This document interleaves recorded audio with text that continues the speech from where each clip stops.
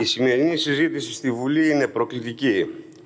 Είναι σημαδιακή κιόλα η σημερινή μέρα. Βγάζετε λόγους εδώ μέσα για τη δίθεν ανάπτυξη που θα φέρει ο αναπτυξιακός νόμος και μόλις χθες βράδυ η κυβερνητική τρόικα στα Ικούρας, Κρέκας, Χατζηδάκης ανακοίνωσαν στα σωματεία των εργαζομένων της ΛΑΡΚΟ την κήρυξη του πιο άτιμου πολέμου, ότι θα τους πετάξει στο δρόμο αυτό το μήνα, απολύοντάς τους από τη δουλειά και την ίδια στιγμή ξεσπιτώνοντάς τους από τους οικισμούς, αφού τους ζήτησαν να εγκαταλείψουν ακόμα και τα σπίτια τους, και άνεργοι και άστεγοι. Η κήρυξη αυτού του πολέμου από την κυβέρνηση της Νέας Δημοκρατίας σε συμπαιγνία με τους επενδυτές, τους περιβόητους, που θέλει να ξεπουλήσει τη Λάρκο για να την πάρουν μπιτ παρά. Δεν αφήνει περιθώρια άλλα από το να σημάνει συναγερμός σε όλη την εργατική τάξη της χώρας και όχι μόνο στους εργαζόμενους της Λάρκο, με βασικό στόχο το έγκλημα αυτό να μην περάσει.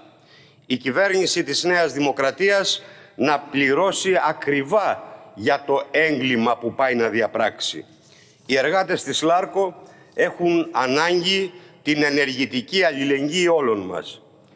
Έχουν πέσει πλέον οι μάσκες και αφήστε τα κόλπα ότι θα απορροφήσετε, λέει, τους άνω των 55 ετών σε προγράμματα κοινοφελούς εργασίας μέχρι να βγουν στη σύνταξη. Τα ξέρουμε αυτά τα προγράμματα με ψίχουλα πείνας των 500 ευρώ. Πώς θα ζήσει ένας οικογενειάρχης που έχει παιδιά που σπουδάζουν ή που είναι άνεργα; Αφήστε τα κόλπα ότι οι υπόλοιποι εργαζόμενοι που θα απολυθούν θα ενταχθούν σε προγράμματα εργασίας γέφυρα, δηλαδή στα γνωστά προγράμματα ανεργίας.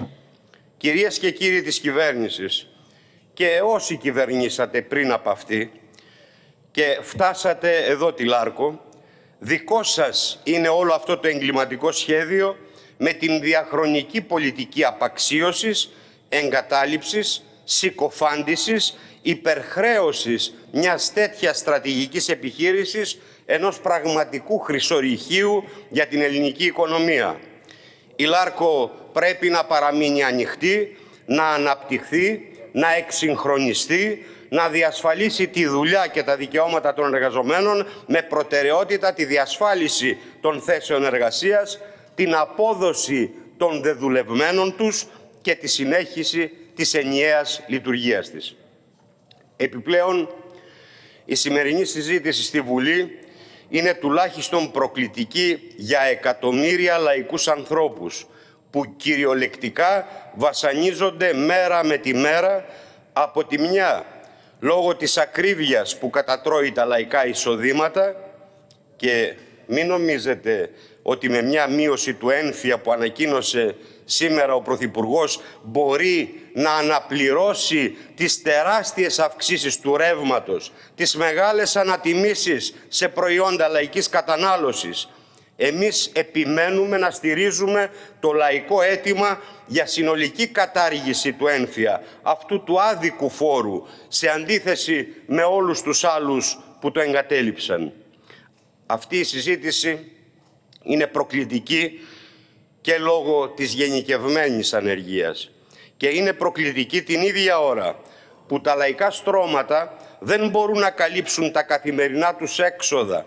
Εδώ μέσα η λεγόμενη εθνική αντιπροσωπεία να συζητάει πώς θα μοιραστούν δεκάδες δισεκατομμύρια ευρώ σε μεγάλες επιχειρήσεις. Με την κυβέρνηση της Νέας Δημοκρατίας να βρίσκεται σε έναν καυγά με το ΣΥΡΙΖΑ και άλλα αστικά κόμματα για το ποιος θα μοιράσει τα δισεκατομμύρια. Αν ο σημερινός ή ο προηγούμενος αναπτυξιακός νόμος είναι καλύτερος ή αν το πρόβλημα είναι η υπερσυγκέντρωση εξουσιών στον Υπουργό Ανάπτυξης. Αλλά τέτοιοι είστε. Όπως και να το πει κανένας, αυτοί είστε. Φυσικά ξέρουμε και τι θα μας πείτε για να μπαλώσετε τα έσχη σας να ρίξετε στάχτη στα μάτια του κόσμου. Θα μας πείτε κύριοι της κυβέρνησης ότι η ανάπτυξη θα φέρει πολλές καλοπληρωμένες θέσεις εργασίας, ότι θα δημιουργήσει ευκαιρίες, ότι θα αντιμετωπίσει τα προβλήματα του λαού. Όλοι λένε, όλα αυτά λένε οι βουλευτές σας και οι υπουργοί σας παρελάβνοντας από αυτό εδώ το έδρανο. Και από κοντά και εσείς κύριοι του ΣΥΡΙΖΑ, τάχα διαφωνώντας με τη Νέα Δημοκρατία, επιχειρηματολογείτε ότι η ανάπτυξη της Νέας Δημοκρατίας δεν σας κάνει. Ότι η δική σας τάχα διαφορετική ανάπτυξη είναι η καλή.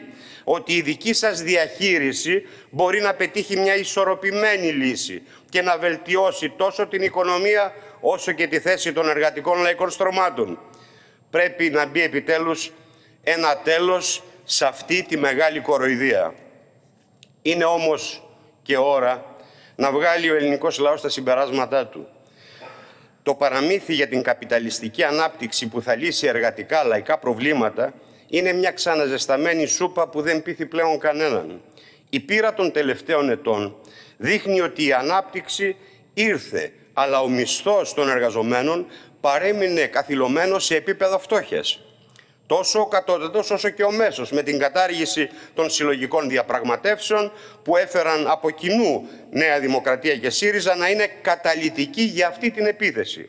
Και στη συζήτηση για τον κατώτατο μισθό κανένας σας, ούτε η Νέα Δημοκρατία, ούτε ο ΣΥΡΙΖΑ, ούτε το ΚΙΝΑΛ δεν τολμάει να ψελίσει το στοιχειώδες, αυτό που προτείνουν εργατικά σωματεία, που προτείνει το ΚΚΕ, να καταργηθεί επιτέλους αυτό το έσχος να καθορίζεται με απόφαση του Υπουργού Εργασίας το ύψος του κατώτατου μισθού.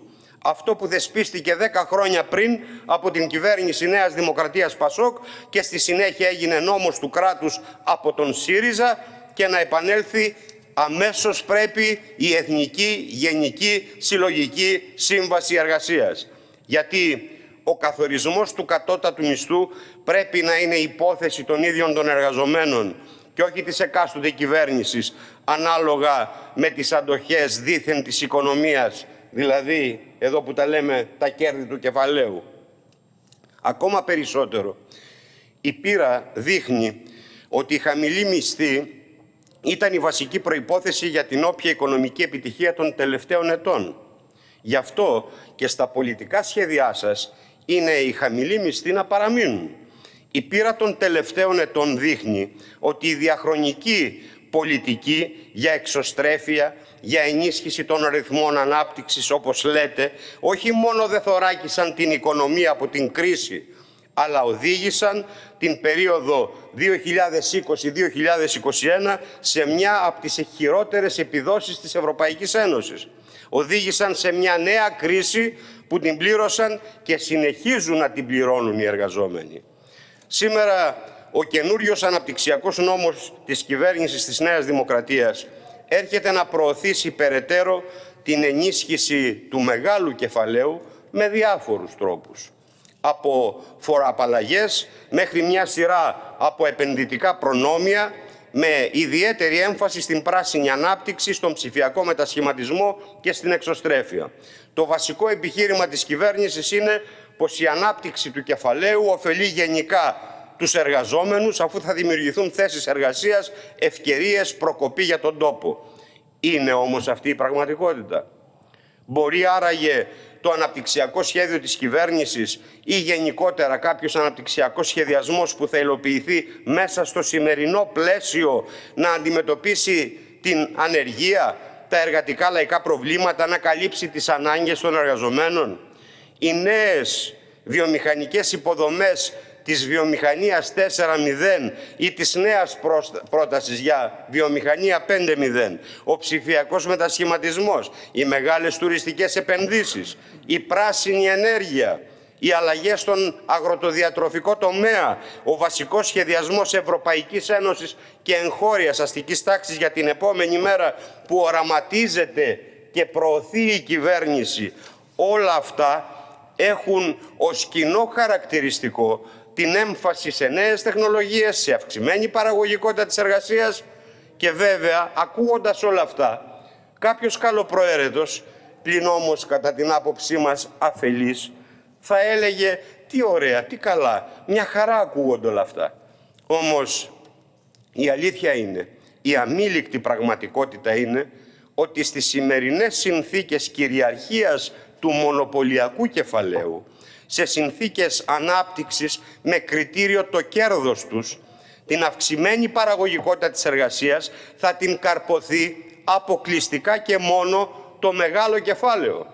Γιατί η ύπαρξη των ψηφιακών επενδύσεων και η καινοτομία έπρεπε και μπορούν να οδηγούν σε λιγότερη εργασία για τους εργαζόμενους, σε καλοπληρωμένες δουλειές, σε αυξήσεις, αλλά στο σημερινό σύστημα βλέπετε στον καπιταλισμό οδηγούν μόνο σε ένταση της εκμετάλλευσης, σε λιγότερες θέσεις εργασίας, που μάλιστα ακριβώς για να διασφαλίζεται αυτή η κερδοφορία του κεφαλαίου είναι κακοπληρωμένες. Ας πάρουμε ορισμένα μόνο από τα παραδείγματα των τελευταίων ετών της δραστικής μείωσης και παράλληλα της έντασης της εκμετάλλευσης στο εμπόριο από το ηλεκτρονικό εμπόριο για τους εργαζόμενους ή στις τράπεζες, στις κρατικές υπηρεσίες, αξιοποιώντας ακριβώς την ίδια την ψηφιοποίηση αποδεικνύουν του λόγου το αληθές. Επίσης, το τεράστιο βάρος της ψηφιοποίησης για τις μικρές επιχειρήσεις οι οποίες καλούνται να ανταπεξέλθουν σε νέο εξοπλισμό, σε πολλαπλά πρόσθετα έξοδα και παράλληλα αντιμετωπίζουν στην ψηφιακή αγορά πλέον τον εντυνόμενο ανταγωνισμό των μεγάλων ομίλων. Αποδεικνύουν πως η ψηφιοποίηση ευνοεί βασικά τις μεγάλες, τις πολύ μεγάλες κυρίως επιχειρήσεις, τους μεγάλους ομίλους. Μα και στον τουρισμό η κερδοφορία των μεγάλων ξενοδοχειακών μονάδων γίνεται πάνω στις πλάτες των άθλιων συνθήκων εργασίας δεκάδων χιλιάδων ξενοδοχοϊπαλλήλων. Γι' αυτό άλλωστε και οι αναπτυξιακοί νόμοι τόσο της Νέας Δημοκρατίας όσο και οι προηγούμενοι ούτε καν συζητούν για αυξήσεις μισθών, για βελτίωση των όρων εργασίας, για διασφάλιση αυξημένων θέσεων απασχόλησης. Η κερδοφορία του αγροτοδιατροφικού τομέα με την προώθηση των εξαγωγών βασίζεται τόσο σε ένταση της εκμετάλλευσης εργαζομένων όσο και στην εξαγωγή των υψηλής ποιότητας προϊόντων της χώρας στο εξωτερικό. Πόσοι μπορούν να το κάνουν αυτό; Στο κρίσιμο τομέα της ενέργειας, η αστική πολιτική, όπως εκφράζεται με το αναπτυξιακό νομοσχέδιο, επιμένει στον ίδιο αδιέξοδο για το λαοδρόμο της απελευθερωμένης ενέργειας, των ανανεώσιμων πηγών ενέργειας, των ΑΠΕ, των διεθνών διασυνδέσεων, χρηματοδοτώντας με δεκάδες δισεκατομμύρια ευρώ τις σχετικές επενδύσεις.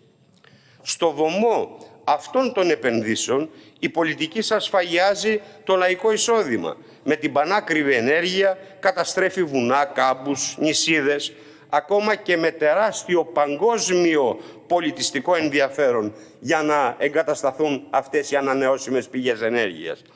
Έχετε με την πολιτική σας κυριολεκτικά γονατίσει το εργατικό, το λαϊκό νοικοκυριό, τις μικρές επιχειρήσεις και έχετε το, το πολιτικό θράσος να εμφανίζεται την χρηματοδότηση αυτών των ομίλων από τον κρατικό προϋπολογισμό ως δήθεν συγκράτηση του κόστους ενέργειας.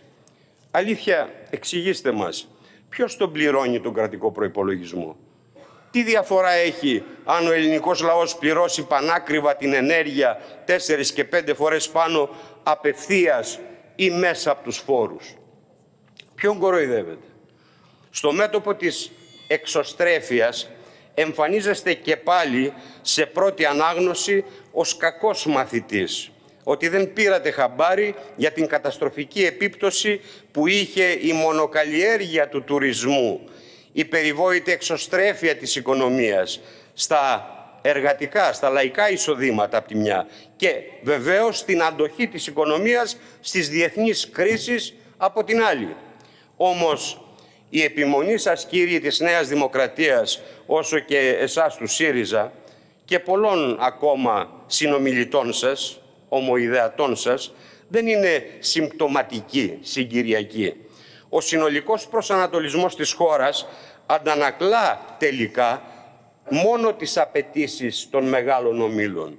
Εμφανίζεται για μια ακόμη φορά το χάσμα οι ανάγκες και η πολιτική του κεφαλαίου από τη μια σε αντιδιαστολή με τις ανάγκες και τα συμφέροντα του λαού μας. Κανέναν λοιπόν δεν εκπλήσει ο ανάλογος κλαδικός προσανατολισμός της ανάπτυξης που προωθεί ο επενδυτικός σας νόμος, συνολικά δηλαδή τα εργαλεία χρηματοδότησης των ομίλων που θα πληρώσουν πάλι οι εργαζόμενοι. Η φερόμενη ως αντιπολίτευση δεν έχει κάποια ουσιαστική κριτική εδώ που τα λέμε να σας κάνει και ο ΣΥΡΙΖΑ και το ΚΙΝΑΛ και το ΜΕΡΑ25 θα έλεγα συμφωνούν επί της ουσίας στην πράσινη μετάβαση, στις ψηφιακές επενδύσεις, στην καινοτομία, στον παραγωγικό μετασχηματισμό. Και είτε σας κατηγορούν ότι δεν τον προωθείτε αρκετά γρήγορα, είτε γκρινιάζουν ότι η δική τους εκδοχή διαχείρισης μπορεί να προωθήσει τη γραμμή της πράσινης ψηφιακής μετάβασης με μεγαλύτερη δίθεν αποτελεσματικότητα. Η εντυπωσιακή ομοιότητα της πρότασης του ΣΥΡΙΖΑ με την πρόταση της Νέας Δημοκρατίας δεν είναι τυχαία. Και οπωσδήποτε η συζήτηση για το ποιος έκλεψε από τον άλλον είναι τουλάχιστον αστεία, ειδικά μετά τη νίκη τότε του Biden. Σε Ηνωμένες Πολιτείες Αμερικής, σε Ευρωπαϊκή Ένωση και σχεδόν σε ολόκληρο τον καπιταλιστικό κόσμο, η πράσινη ψηφιακή μετάβαση το περιβόητο Green New Deal είναι αυτό που εμφανίζεται ως απομηχανής θεός παντού, ως λύση, πως ο καπιταλισμός διεθνώς αυτόν χρησιμοποιεί και βεβαίως για να βγει από την κρίση. Τι περιλαμβάνει από της ουσίας, επί της ουσίας αυτή η πρόταση; Ελεγχόμενη καταστροφή του κεφαλαίου και προώθηση νέων επενδύσεων σε πράσινες και ψηφιακές λύσεις. Γι' αυτό και η πολιτική σας δεν είναι και τόσο ιδιαίτερη.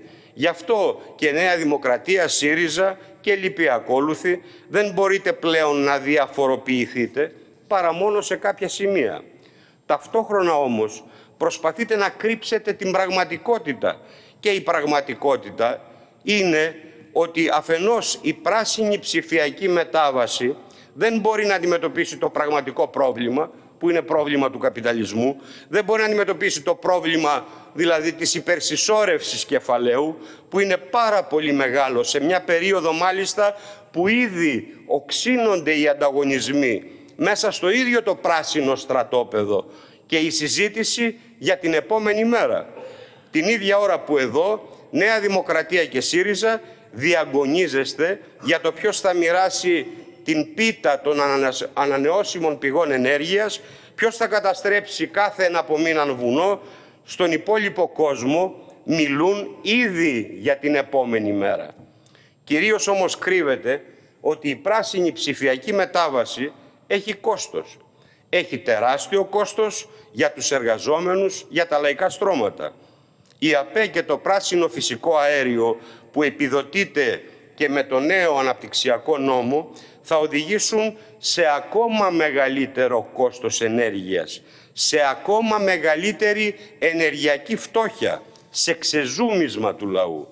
Τα πράσινα αυτοκίνητα είναι απρόσιτα για τα φτωχά λαϊκά στρώματα. Θα αφήσουν εκατομμύρια εργαζόμενους χωρίς αυτοκίνητο.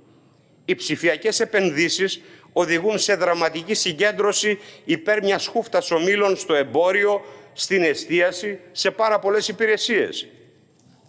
Πάνω απ' όλα όμως κρύβεται τόσο εσείς όσο και κυρίως ο ΣΥΡΙΖΑ και οι έτεροι οπαδοί της επεκτατικής νομισματικής πολιτικής, του χρήματος που κόβεται, ότι τα δισεκατομμύρια ευρώ του Ταμείου της Ευρωπαϊκής Ένωσης είναι δεμένα με τον πληθωρισμό, με την ακρίβεια, με τη φτώχεια. Αλήθεια Ας μας εξηγήσει επιτέλους κάποιος πώς γίνεται να κόβει αφιδός χρήμα η Ευρωπαϊκή Ένωση μέσα από την Ευρωπαϊκή Κεντρική Τράπεζα και αυτό να μην οδηγήσει σε εκτίναξη του πληθωρισμού, σε απώλεια αγοραστικής δύναμης για τους εργαζόμενους, σε νέα φτώχεια. Τόσο εσείς της Νέας Δημοκρατίας, όσο κυρίως εσείς του ΣΥΡΙΖΑ, εξηγήστε στον ελληνικό λαό πώς γίνεται να σταματήσει τον πληθωρισμό και την ακρίβεια η ίδια η πολιτική που τον γεννάει, δηλαδή η ονομαζόμενη επεκτατική διαχείριση. το πρόσθετο χρήμα της Ευρωπαϊκής Ένωσης, η πράσινη μετάβαση που μετατρέπει όλα τα προϊόντα σε πολύ πιο ακριβά επειδή είναι πράσινα. Κοροϊδεύεται τον κόσμο λοιπόν και ίδιο. Η επεκτατική πολιτική και οι πράσινες ψηφιακές επενδύσεις όχι απλά δεν μπορούν να αντιμετωπίσουν την ακρίβεια και τη φτώχεια του λαού μας, αλλά νομοτελειακά την επεκτείνουν και τη μεγαλώνουν. Αποδεικνύεται και κάτι ακόμα. Βλέπουμε τη φιλελεύθερη Νέα Δημοκρατία να υλοποιεί το μεγαλύτερο επεκτατικό πακέτο κρατικής διαχείρισης και η επιχειρηματικότητα να κινείται με ζεστό κρατικό χρήμα. Την ίδια ώρα που ο σοσιαλδημοκράτης ΣΥΡΙΖΑ υλοποίησε τη χειρότερη περιοριστική πολιτική της προηγούμενης περίοδου, το χειρότερο μνημόνιο με πλήρη συνείδηση και πολιτική ομότητα παρά το κλάμα που έριχναν κάθε Ιούλη βέβαια. Η αλήθεια λοιπόν είναι ότι δεν έχετε κανενός είδους ιδεολογικές αγκυλώσεις, όλοι σας. Δεν διστάζετε τόσο εσείς της Νέας Δημοκρατίας, όσο και εσείς του ΣΥΡΙΖΑ, να υλοποιείτε την όποια πολιτική έχει ανάγκη το μεγάλο κεφάλαιο και σε κάθε συγκυρία.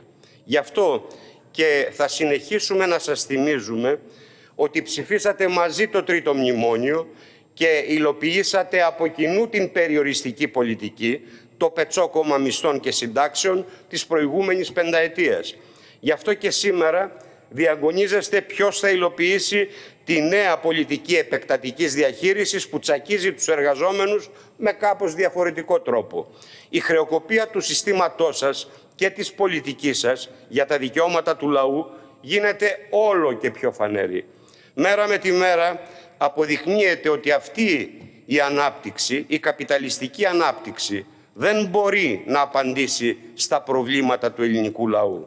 Η ανεργία, η φτώχεια, ο κοινωνικός αποκλεισμός, η μισθή πείνας, η ένταση της εκμετάλλευσης, μια ζωή κομμένη και ραμμένη στις απαιτήσεις των κερδών του κεφαλαίου είναι η θλιβερή πραγματικότητα.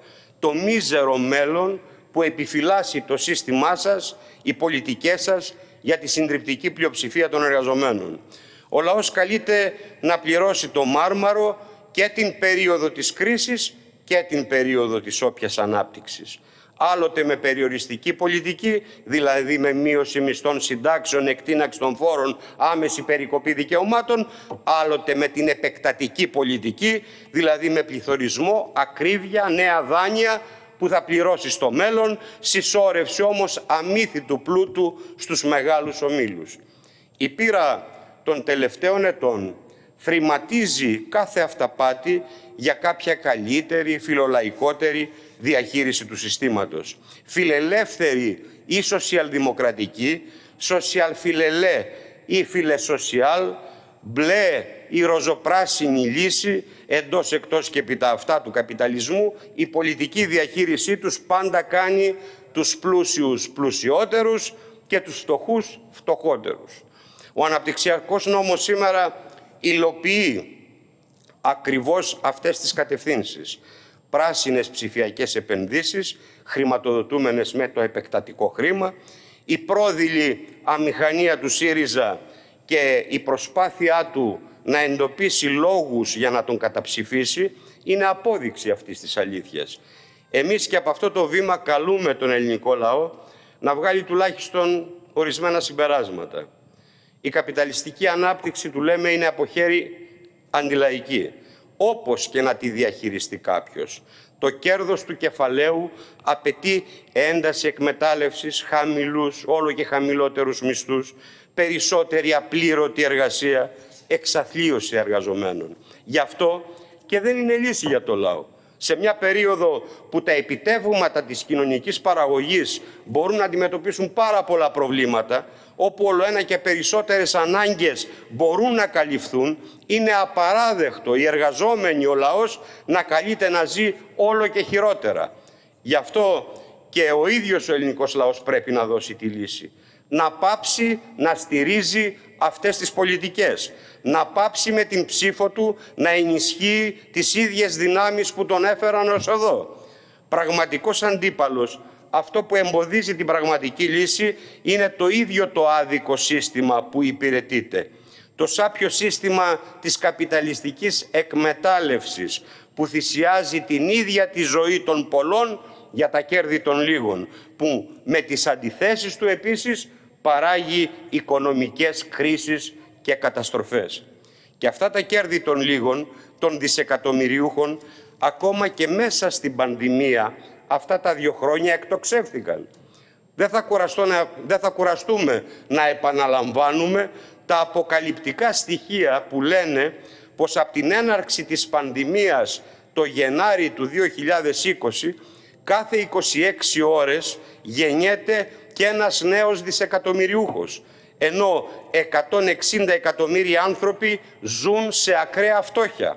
Μάλιστα, οι 10 πλουσιότεροι άνθρωποι στον κόσμο αύξησαν την περιουσία τους αθρηστικά από 700 δισεκατομμύρια δολάρια σε 1,5-3 εκατομμύριο δολάρια αυτά τα δύο χρόνια. Απέναντι λοιπόν σε αυτό τον αδιέξοδο δρόμο για το λαό, το ΚΚΕ προτείνει μια ριζικά διαφορετική λύση. Προτείνει ένα διαφορετικό δρόμο, το δρόμο της κοινωνικοποίησης των συγκεντρωμένων μέσων παραγωγής, του επιστημονικού κεντρικού σχεδιασμού της οικονομίας, το δρόμο του σοσιαλισμού.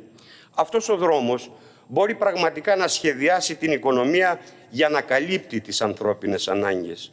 Να διασφαλίσει ότι η εκτίναξη της παραγωγικότητας θα οδηγήσει σε μια καθολική μείωση του εργάσιμου χρόνου και σε βελτίωση των αποδοχών των εργαζομένων. Να διασφαλίσει λιγότερες ώρες δουλειάς για όλους, με κάλυψη των αναγκών των εργαζομένων σε ελεύθερο χρόνο για τις μορφωτικές, τις πολιτιστικές τους ανάγκες, τη συμμετοχή τους στα κοινά. Αυτός ο δρόμος μπορεί να αναπτύξει ολόπλευρα τις παραγωγικές δυνάμεις της χώρας, διασφαλίζοντας ισόρροπη ανάπτυξη των κλάδων, όλων των κλάδων, χωρίς να δεσμεύεται με το κριτήριο της μέγιστης, της αδιφάγας κερδοφορίας που οδηγεί σε φαινόμενα έντονης ανισομετρίας και αναρχίας της παραγωγής. Αυτός ο δρόμος μπορεί να διασφαλίσει έναν ενεργειακό σχεδιασμό με κριτήριο τις λαϊκές ανάγκες σε αντιδιαστολή με τη σημερινή πραγματικότητα της υποταγής του ενεργειακού σχεδιασμού στην κερδοφορία των λίγων.